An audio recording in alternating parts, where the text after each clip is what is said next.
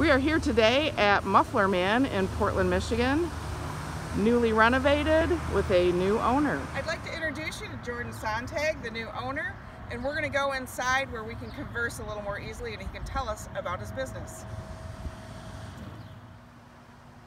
Okay, Jordan, could you tell us uh, a little about your background, why you chose a Muffler Man shop, and why you chose Portland? Well, a little bit about my background. Um, I've had my shop since 2011.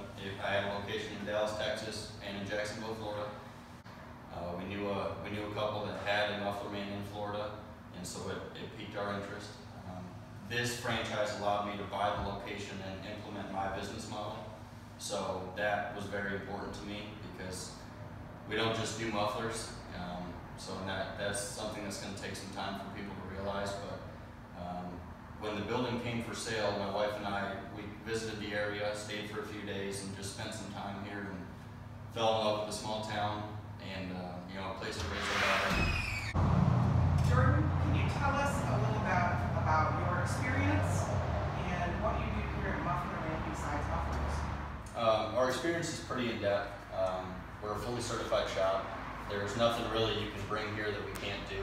Um, as far as my experience personally, We've had everything from full SEMA builds um, to 1,000 horsepower diesels to we've got a 64 Cadillac here to a 2019 F-150. Um, our main, I guess, bread and butter here is we do a lot of suspension work. We do a lot of AC work, brakes, drivability.